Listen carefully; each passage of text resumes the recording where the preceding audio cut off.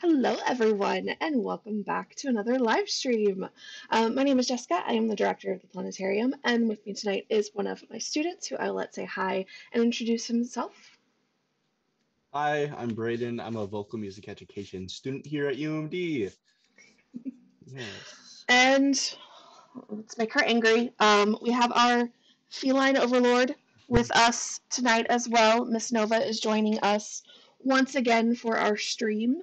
Um, so as always, when we have the kitty present, anything weird that happens, she probably sat on my keyboard. Mm-hmm. Um, that's the chaos you get when you get Nova on the streams as well. All right, well, um, happy February. I don't know how that happened, but it's we so are strange. We're in February. Um, which means since we're at a new month, uh, our show tonight is our I almost said annual, monthly What's Up show, uh, where we will take a look at the astronomical events that you can look forward to for February. Um, Peak, I don't know if you see my gorgeous, colorful new background. It's one of the mm-hmm. latest James Webb images.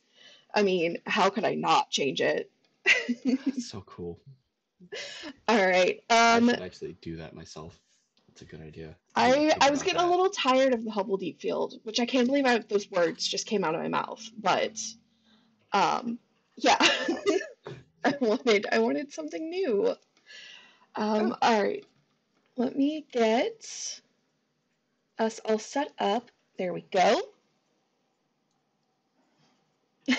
yeah, Nova is appearing and disappearing. Um, that's the yeah it's great um, okay so as we go through the show as usual if you have any questions feel free to leave them down in the comments um, braden will keep an eye on that for me will let me know when questions come up if we don't get to them right away don't worry we will answer questions at the end of the stream as well um, but let's get going with our What's Up for February. Um, and the topic that everyone is talking about right now. Oops. Why did that do that? Okay. There we go. The topic that everyone is talking about now is Comet C 2022 E3, the new comet that we can see up in our sky. Um, so it has made its closest approach to Earth today. Um, it actually happened a little bit earlier for us. Um, so tonight would be a fantastic time to go out and try and see it. Um, it is not naked eye visible last that I checked. Um, so you do need at least a pair of binoculars to be able to see it. But if you want to see it, you'll head out tonight. Um, it is now up for most of the night. It's not just early morning anymore, but it will be located about two fists size, um, south southwest of the North Star Polaris. Um, so that is how you can find it. Now, if you don't want to go out or the weather's not cooperating, or maybe you don't have a pair of binoculars to go see the comet, don't worry. Um, the Virtual Telescope Project is actually doing a live stream of the comet starting at 10 p.m. Central Time. I have the link to that video um, to their YouTube channel uh, where they're going to host their live stream in the video in the uh, description of the video. Um, so you can click on that tonight and see the comet through their telescope. Um, I think it's really awesome that they're doing this. Now, just because the comet makes its closest approach tonight does not mean that it will suddenly not be visible anymore. Um, just like it's been visible for the nights leading up to this, it will continue to be visible over the next couple weeks. Um, as we go through the next several weeks, weeks, it is slowly going to move across the sky. Um, so right now, let me find the time frame. There we are. Right here, we have our comet, um, and over the next several nights, you're going to see it slowly making its way towards the constellation Auriga um, and towards Mars. Um, and so this will give you kind of an idea of where to look at. Um, it's going to continue to move more and more southward and westward, um, more westward, I guess, across the sky. Um, so you will still be able to see it again, though uh, you definitely need a at least a pair of small binoculars to be able to see it. Um, but yeah, that is our comet update. Moving on, let's take a look at what the moon is doing this month. Uh, we are starting off the month uh, with our first moon phase, or major moon phase, being the full moon, which is happening in just a couple days on the 5th. Um, the full moon of February is known as the snow moon, which, if you're up here in northern Minnesota, like we are, uh, that makes a lot of sense. There is a whole bunch of snow out on the ground right now. Um, this moon will also be a mini moon or a micro moon, which I'll talk more about in just a minute. Um, so we have our full moon on February 5th. Um, about a week after that, on the 13th, we'll have the third quarter. About a week after that, on the 20th, is the new moon. And then about a week after that, on the 27th, is our first quarter. Um, so you can see here the uh, times that the moon will rise and set for these different phases. Um, this does show that the moon is sometimes up during the day, sometimes up during the night. It just depends on where it is in its orbit around the Earth and therefore what phase it's in. But let's talk about that mini moon slash micro moon. Now, I know in the past um, we have talked about supermoons. Well, a micromoon is caused by the same or similar situation as a supermoon. So essentially, the moon's orbit around the Earth is not perfectly circular. It's a little bit elliptical. So because of that, that means that sometimes in the month the moon is a little bit closer to the Earth, and sometimes it's a little bit further. So a supermoon happens when the moon is in a full moon phase when it's at its closest approach to Earth. A mini moon or a micromoon is the opposite. It's when a full moon happens when the moon is the furthest away from the Earth. And this causes the moon to look just a little bit smaller than its average size. For this particular mini moon, it's happening a little bit after the moon is at its furthest. Um, so this mini moon or micro moon is going to look about 5% smaller than its average size. Um, you can see here some comparisons of you know the average moon, the micro moon, and the super moon. To be honest with you, it's probably not something that you will notice unless you are actively trying to look for it. Um, but it is happening. The moon will appear just slightly smaller um, during the full moon this month. All right. Um, another thing with our winter full moons, winter full moons get incredibly or get higher in the sky than summer full moons. Um, and so that bright full moon high in the sky can actually be bright enough to cast shadows during nighttime.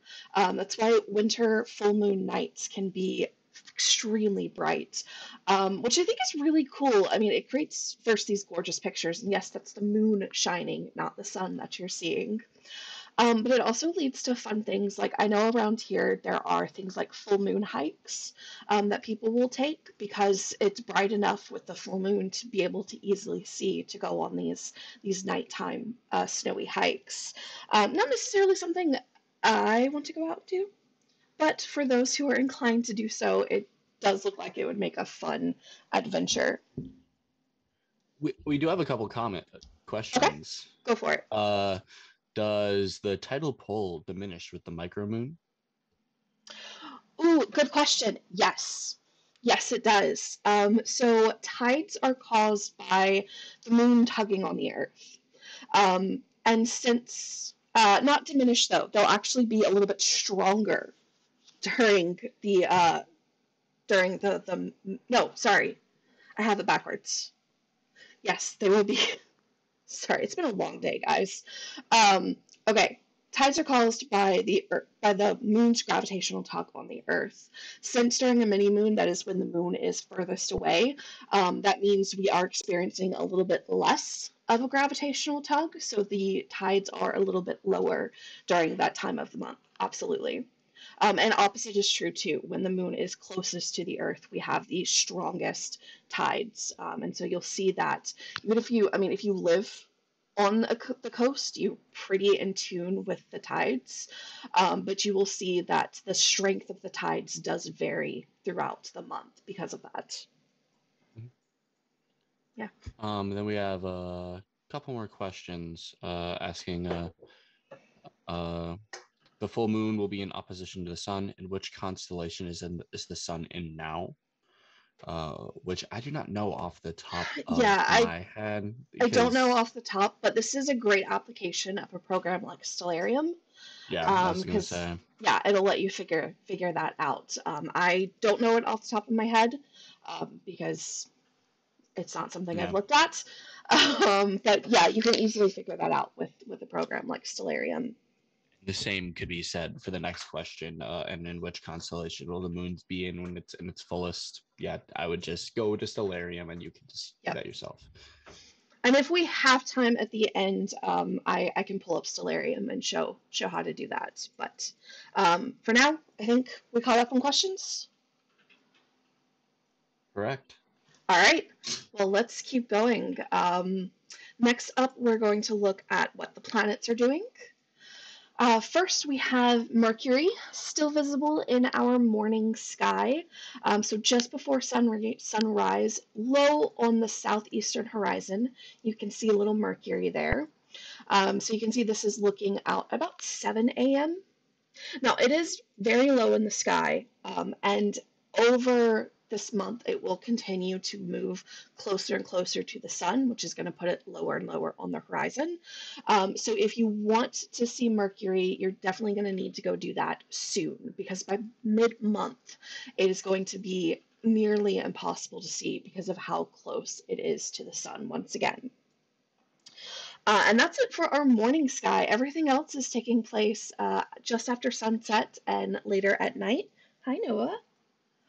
Um, so looking over in our evening sky now, looking over in the west southwest, um, just after sunset, we have Venus continuing to be nice and bright up in the sky. In fact, um, if you're out right around sunset and you see like the first really bright looking star um, over in the west, what you're seeing is Venus. Uh, that's why it's sometimes known as the evening star, because it's generally the first point of light that you will see in the evening when it's up in the west. Um, and that's also why it's the morning star, because when it's up in the morning time, it's the, the last thing that you see, the one still bright thing you see once the sun is um, about to rise. Um, sitting really low on the horizon, we have Saturn still just barely hanging out there.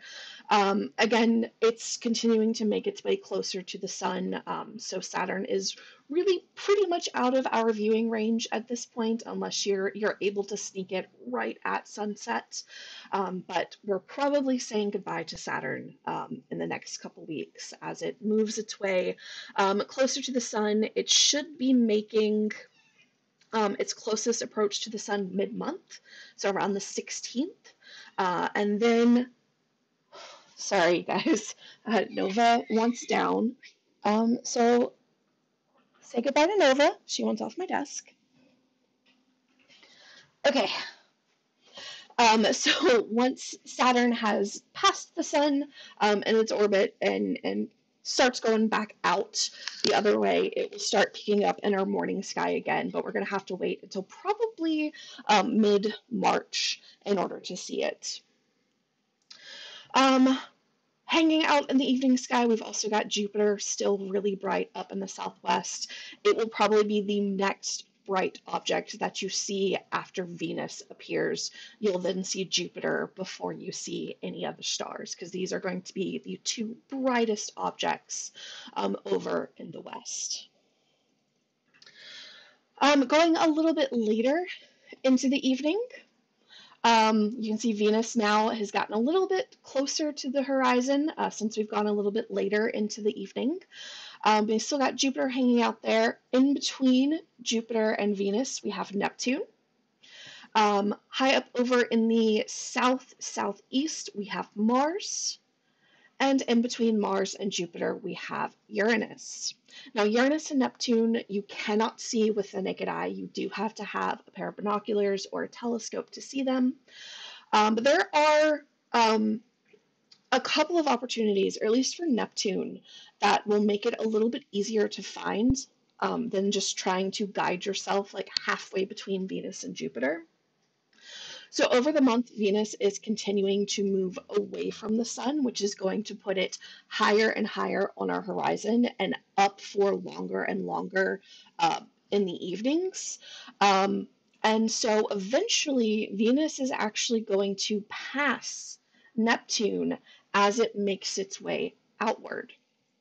So around um, February 14th and 15th, uh, Venus is going to be passing Neptune. So if you want to try and find Neptune, this would be a good time to do it because it's going to be right near the planet Venus. Um, and Venus is going to be really easy to find. Uh, so you just have to look in the area of the sky around Venus to hopefully find Neptune. Um, then, uh, as Venus continues to make its way further from the Sun, it will also get closer to Jupiter. So on the nights of February 22nd and February 23rd, uh, we're going to have the moon nearby, or sorry, it's February 21st and 22nd. Um, we're going to have the moon hanging out with Jupiter and Venus as well, uh, which would make for, I think, a really cool photo op if you're interested in like night sky photography. Um, this could be a really cool one to get. And that's is our planet update. So Mercury, we've got for just the very beginning of the month over in the morning sky. Um, Saturn, we're saying goodbye to. Um, the rest of the planets are visible up in the evening sky. Um, and yeah, this could be a, some fun, some fun planet gazing for this month. All right. Um, one last cool thing that you can see in February is something called the zodiacal light. So, our solar system is full of lots of debris, lots of essentially dust and grains of sand that's strewn all throughout the solar system in between the planets. And the sunlight will reflect off of those um, and create this kind of glow now, most of the time it's difficult to see this glow, um, but about twice a year in the fall and in the spring, we are oriented just right with this uh, dust and with the sun that we're able to more easily see what's called the zodiacal light. Um, so if you want to try and see it, um, you're going to want to head out uh, in the first half of the month. Um, so the first uh, couple weeks before the new moon, you're going to go out just when it gets dark because you're going to have about half an hour after it gets dark to be able to see it. You're going to need to go to a dark location and you're going to look towards the west and you'll see this wedge of light coming up from the western horizon and it'll be centered on Jupiter and Venus. Um, that's because this is the plane of our solar system this is where all of that dust and stuff lives. And so this is where you're going to see that wedge of light. Um, now, don't confuse it for our Milky Way, which will be over more towards the northwest. Um, but if you're able to get out and see it. Um, so this is what I was talking about. Again, we have lots of dust and debris, and when the sunlight scatters off of it, we see this wedge of zodiacal light. Um, and here is a really good picture kind of showcasing this. Now, this is a bit exaggerated because it's taken with a camera that can um, capture light for longer than our eyes do. Uh, so to your eye, it's not going to look quite as bright or intense as this, um, but it is still something that you will be able to noticeably see. You'll see this wedge of light uh, coming up from the western horizon. All right. Uh, last up, let's talk about uh, satellites. Um, because on any given night, you can see quite a few satellites passing through the night sky. The general rule of thumb um, if it's moving and blinking, it's a plane. If it's moving and not blinking, it's a satellite. Um, and I'm telling you, you stay out for even an hour, half an hour, uh, you will see at least one satellite flying over. Um, now, we don't always know, uh, well, you can look up what these different satellites are. There's lots of them. Um, but if you're wanting to look for one in particular, a good one to look for is the International Space Station. Um, so the International Space Station makes uh, one orbit around the Earth every roughly 90 minutes. Um, and depending on its path, sometimes it will pass over your location. Um, we know those orbits well in advance, which means we can get, excuse me, um, information on when we will be able to see from our location. So for us here in Duluth, um, we have uh, several opportunities in the month of February to see the International Space Station. Um, if you live in a different location, you can get the same information by going to this website, heavens-above.com. It's also linked in the video description. Uh, and you can put in your location and click on ISS, and it will give you the same information for you. Um, if you want to get out to try and see it, you're going to want to make sure you find a date and a time that works for you. Um, and generally, I recommend looking for uh, the smallest magnitude value because the magnitude system, this is for brightness, it's a little bit backwards. The smaller the number, the brighter an object is. Um, so something like here on the 21st, we're going to have some really bright ISS passovers. Um, and that light that we're seeing um, is sunlight reflecting off of these solar panels on the ISS. Now, once you have a date and time that you are interested in, you can click on that date and it will take you to another page that will show you a map of the night sky uh, with the space station's path marked out and we'll also give you some more timing information as well so that you can know exactly when and where to look in the sky to be able to see it. All right, well, that is our astronomical events for February. Um, so let's talk about what we're doing in the planetarium. Um, this week we have uh, Expedition Moons on Friday. Um, and Saturday night, we have a new show, uh, Seeing a Photon's Journey Across Space, Time, and Mind. Um, we do not have an afternoon show this weekend um, due to uh, special events that we have going on at UMD.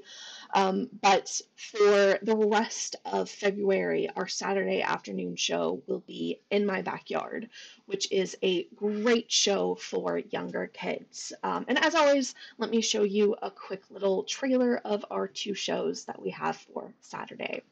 Um, so again, this is in my backyard. Well, not this Saturday, for every other Saturday in February, this will be showing at 2 p.m.